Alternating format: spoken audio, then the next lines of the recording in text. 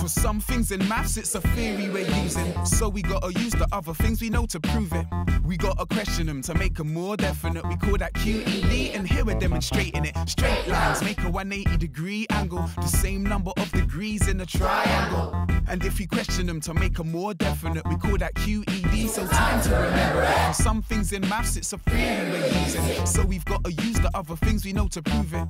We gotta question them to make them more definite. We call that QED, and here we're demonstrating it. Straight lines make a 180 degree angle, the same number of degrees in a triangle. And if we question them to make them more definite, we call that QED. So time to remember it.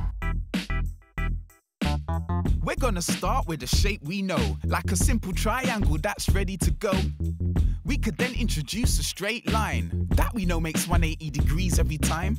Now, if we want to find the exterior angle, we're looking at the measurement outside the triangle.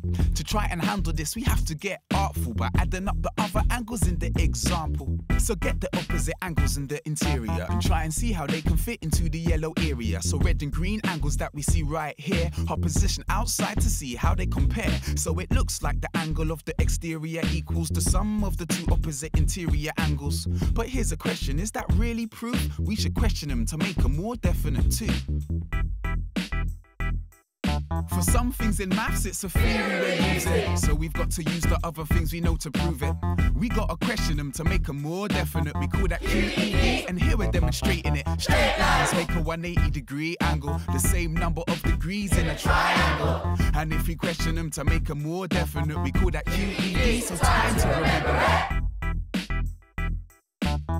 Time to check if our theorem's right. Does the exterior angle match the others inside? So here we introduce a walking stick without a handle that goes between the two interior opposite angles. Now introduce another to the right as well, and mark the other things we know, like the sticks are parallel, and the two corresponding angles that are seen are exactly the same. Here, let's make them green. Now of the things that we know, one more remains. That the two alternate angles are also the same, and we can remove the parallel sticks that assisted in helping us check whether the angles would fit.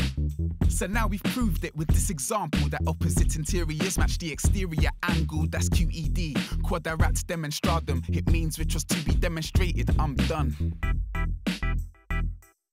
For some things in maths, it's a theory we're using. So we gotta use the other things we know to prove it. We gotta question them to make them more definite. We call that QED, and here we're demonstrating it. Straight lines make a 180 degree angle, the same number of degrees in the triangle. And if we question them to make them more definite, we call that QED. So time to remember it.